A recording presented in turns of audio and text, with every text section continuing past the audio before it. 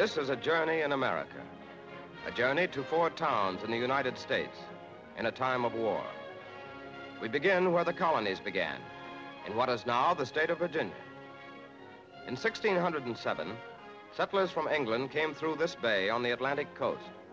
They gave the places names from home James River and Elizabeth River, Portsmouth and Norfolk.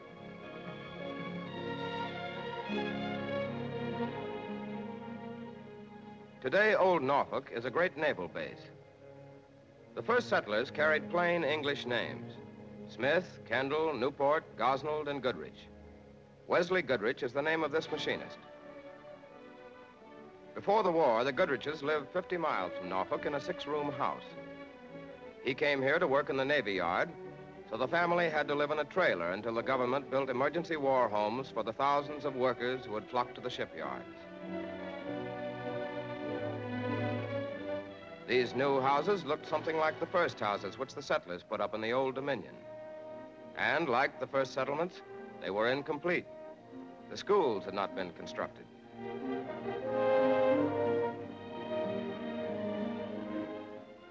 The children thought this was fine. Vanessa Goodrich and her brothers ran wild for a few days.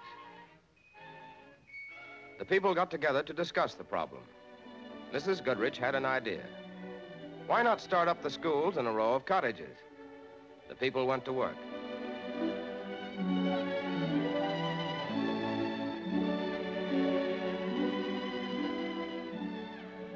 Even the kids couldn't keep out of it, though they knew their help meant the school would be open sooner.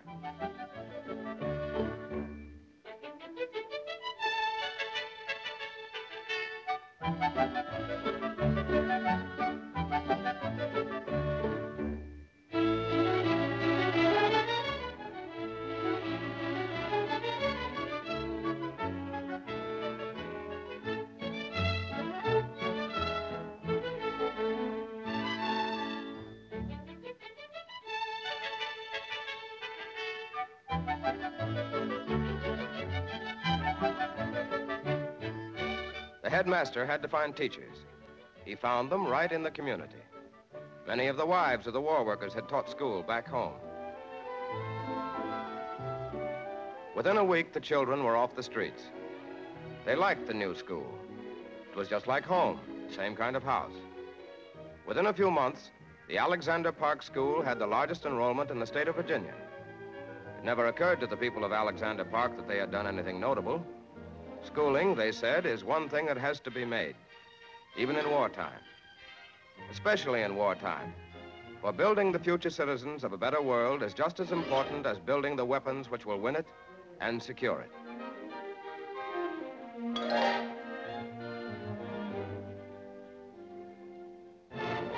From the Virginia shore, if you went by boat, you would pass the coasts of North and South Carolina and Georgia.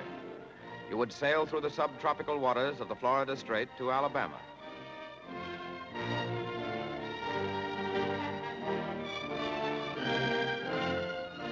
This is the Deep South.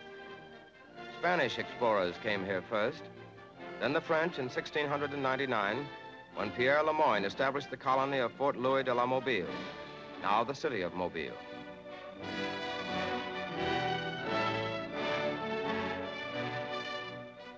The old French colony lives on in the quiet, shady streets with their porches of iron lace.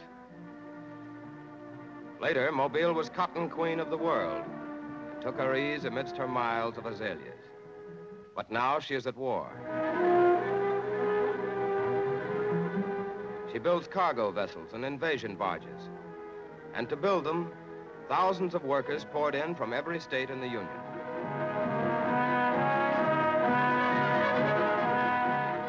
This old city of 80,000 souls had to find a place to live for over 200,000 people. Mobile did her best. She threw open her mansions. They became rooming houses with beds and cots.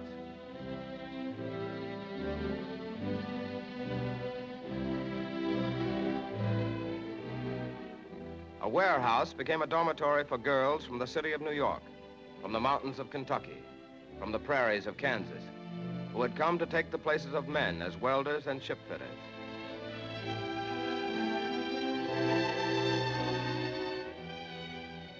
The newcomers spilled over into the county. Trailers from Michigan and Nebraska. They camped in tents and in hastily put together shacks, even in old trolley cars adapted into homes. None of the modern conveniences.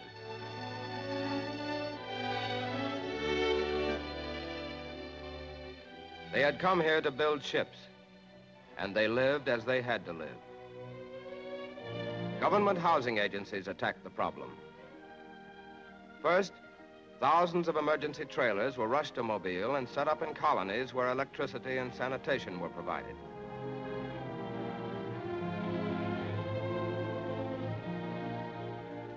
Then immense temporary dormitories for single men and war houses for families. It is not enough. It can never be enough, but the workers are satisfied. The shipyards prove their satisfaction.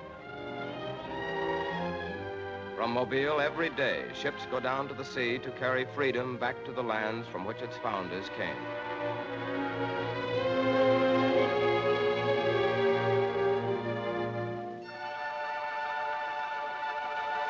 From Mobile, if you span the United States due north, you would come to the city of Detroit in the state of Michigan. A Frenchman, Antoine de la Cadillac, founded Detroit in 1701. In peacetime, the city made automobiles for the world. In wartime, it makes tanks and aircraft for the United Nations. This is the bomber factory at Willow Run. It works day and night. This is Kenneth Watson, Chief Inspector of Final Assembly. 40,000 new workers came to Willow Run in its first year, so some must live in trailers. Those who work by night must sleep by day. Kenneth Watson could never get used to his turn on night shift.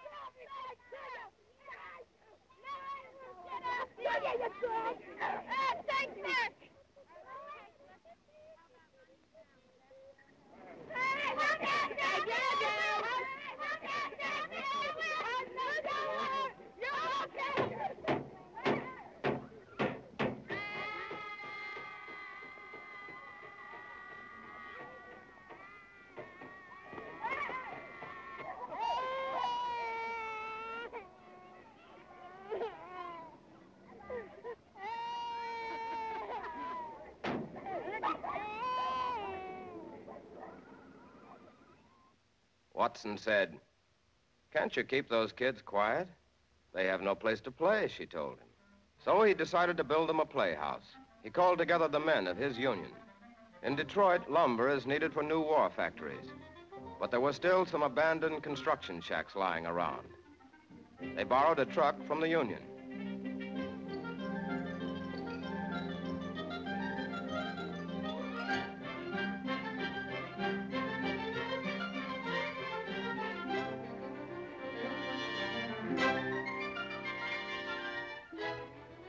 Mrs. Watson officiated at the laying of the cornerstone.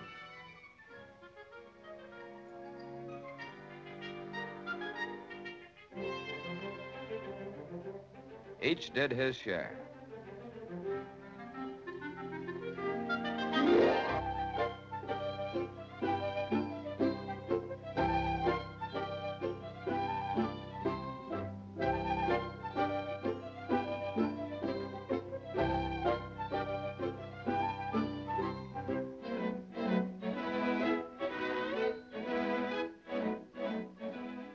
Wasn't exactly palatial.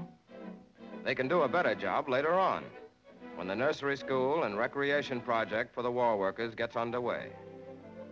In the meantime, the children have a place of their own.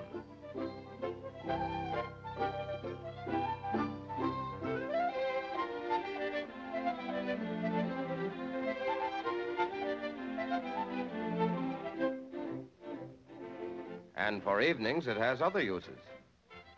These Americans building the newest weapons of war have followed a tune from the days of the flintlock for getting things done.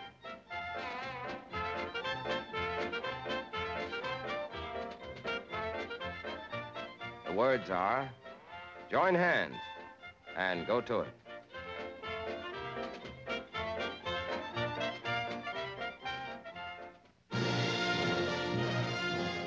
Heading west from Detroit, would cross the states of Michigan, Wisconsin, Iowa, Nebraska, and Wyoming to the nation's spine, the Rocky Mountains. The train follows the Sunflower Trail set in 1847 by the Mormons. The city of Ogden in the state of Utah is a railway center where the transcontinental lines branch off for Los Angeles, San Francisco, and Seattle on the Pacific coast. Here is a vast supply depot for the war in the Pacific. Stores of material for the Army, Navy, and Air Forces.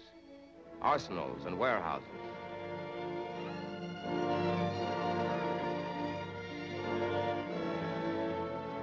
There simply weren't enough people in this part of the state to man all these new enterprises. The Army yards were clogged with unloaded cars. Urgent cargoes were delayed while ships waited in the Pacific ports. General Talbot sent Colonel Grice to make one more attempt to find help. There was Cache Valley, populated almost entirely by the descendants of the Mormon pioneers. The people were busy. Amos Griffin farmed. Moroni Daines was a clerk at Tingwall's store. H.C. Davis taught mathematics. But Sunday was different. Griffin played with his children at home. Bill England's print shop was closed while he pasted up photographs of his sons at the front. Moroni Daines just took it easy. The Sundays of the people of Cache Valley were like Sundays all over America, until the Army asked for help. Colonel Grice met with the mayor, the town leaders, and the deans of the college. They formed a plan. Next Sunday at 4 in the morning, the school bus started to pick up the people of Cache Valley.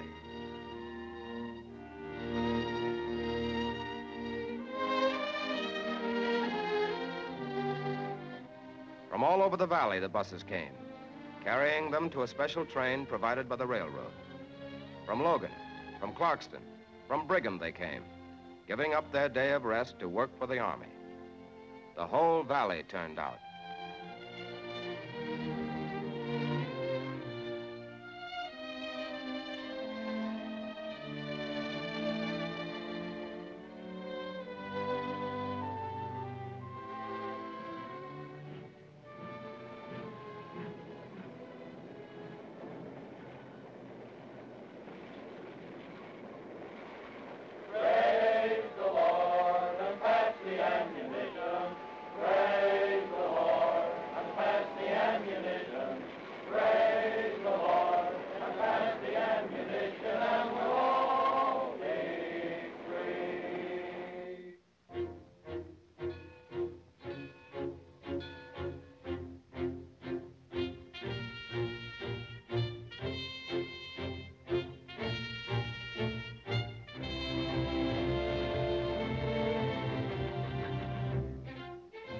They unloaded 50 cars, 100 cars.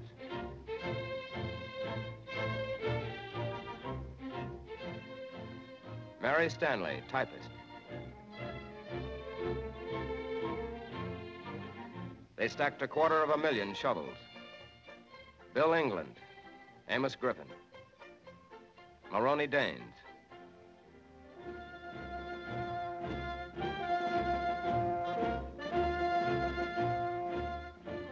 H.C. Davis, the mathematics teacher. They loaded iron for the Army. They stored rope for the Navy. They serviced steamrollers for new airfields in the Solomons. They assembled urgent train loads for the waiting ships. Every Sunday, 10,000 man hours of labor. The stuff of war, checked in, headed out on schedule by the people of Cache Valley, Utah.